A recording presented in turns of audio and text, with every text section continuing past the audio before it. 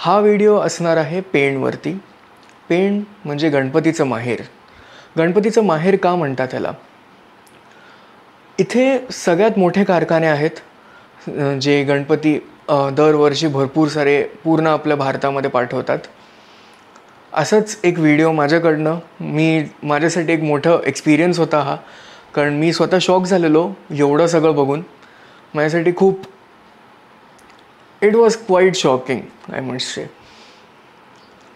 So you will see the video as we go forward जो जो काका होते ते जे ओन करतात त्या कारखान्याला त्यांच्यासोबत पण आपला एक छोटासा इंटरव्ह्यू होता. त्यांना पण आपण विचारलं होतं की काय कसं करतात क कसा प्रोसेस असतो. आपण आता बघू की पेंटिंग प्रोसेस कसं होतं. त्याच्यानंतर आपलं मूर्ती चा आकार कसा घेतो ते अँड इन जनरल आफ्टर सगळं झाल्यानंतर एक इन पॅकिंग कसं होतं हे तुम्ही आता एक पुढच्या एक छोट्यासा सिक्वेन्समध्ये बघाल. माझा प्रयत्न होता की मला जे असं दाखवावं असं म्हणजे मला जे दिसत होतं ते एका व्हिडिओच्या माध्यमामधून तुम्हाला पड पोचवणं. आय होप मी ते नीट केलं असेल. So let's go forward and let's see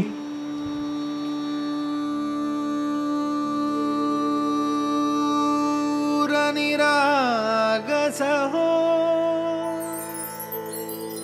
Ganpati.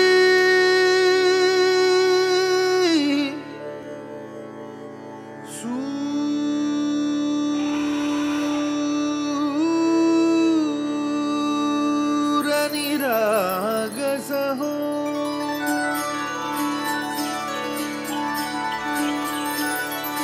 सुरनिरागस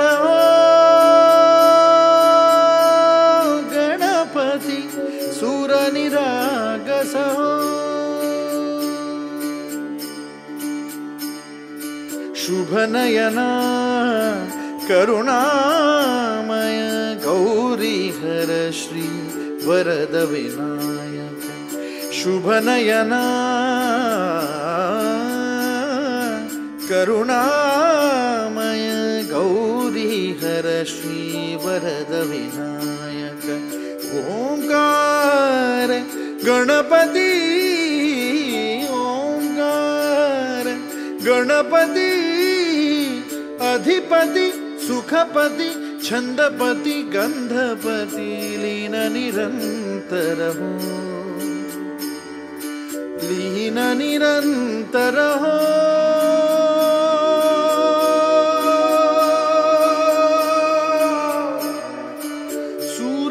सूरनिरागसः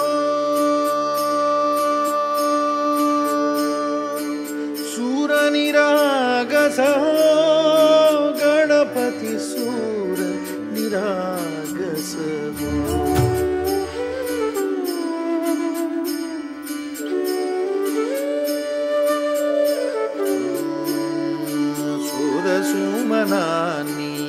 लियो जळ नित्यरिति भावी चरणावर. आन्हे बालक सुमधुर हासे भावत सेवा हो सुरा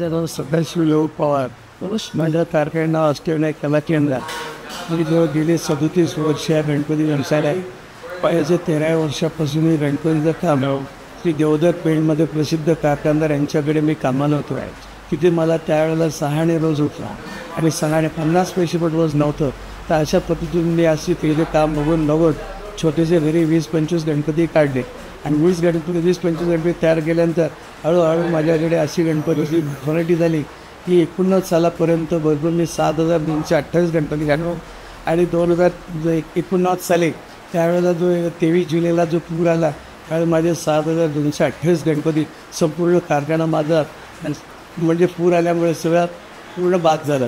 म्हणजे संपूर्ण माझं नुकसान झालं. तरीसुद्धा नुकसानीला न डगमगता मी माझं एवढं साडेसात ते आठ लाख रुपये नुकसान होईल.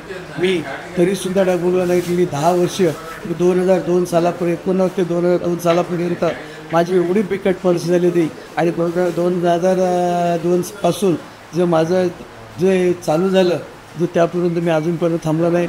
आत्ता जवळजवळ माझ्याकडे पस्तीस ते चाळीस हजार गणपती बनवतो आणि हे गणपती संपूर्ण महाराष्ट्रात महाराष्ट्राच्या बाहेर आउट ऑफ इंडिया सगळीकडे जात आहेत.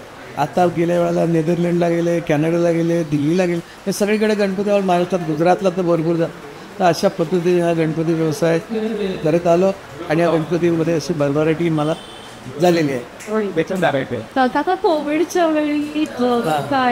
कोविडच्या वेळेला अशी परिस्थिती झाली की मी सावध प्रामाणिकचे गणपती बनवले तर वीस बावीस हजार गणपती बनवले तर काही मंडळींना असं वाटलं कोविडमुळे लोक येणार नाही. व माझे वीस ते बावीस हजार गणपती त्यावेळेस सेल झालं. मला कोणतंही तिथे नुकसान झालं नाही. आणि कोणतेही माझ्या कारागिरांना किंवा मला माझ्या परिवारात कोणतीही दुखापत पण झाली नाही. कुठलेही आम्हाला रोगराई झाली नाही. तर अशा पद्धतीने या ठिकाणी सॅनिटायझरचे दोन हे बसवले होते. किंवा एखादी व्यक्ती गुजरातमध्ये आली तर या व्यक्तीने ज्या आमच्या मशीनला पाय मारलं का सॅनिटायझर डोक्यावर अंगावर यायचं त्यामुळे कुठलेही आजार पण काही भासलं नाहीत. आणि अशा पद्धतीत मात करत करत आम्ही आज इथपर्यंत आणत पण मग कोविडच्या वेळी ट्रान्सपोर्ट वगैरे तुमचे नाही ट्रान्सपोर्ट वगैरे सगळं होतं. त्याच्यामुळे लोकांनी सुद्धा येण्याचं असं केलं की आता पेण शहर म्हणजे आपल्याकडे कोविड झालेलं आहे. आपण कसं जायचं?